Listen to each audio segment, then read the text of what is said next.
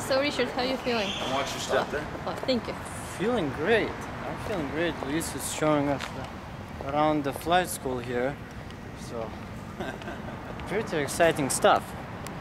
Yeah, now we're gonna, I guess, go to the helicopter and. What are we gonna do now? We're gonna go try to fly it. Right now? Yeah. Good. Damn, happening so fast.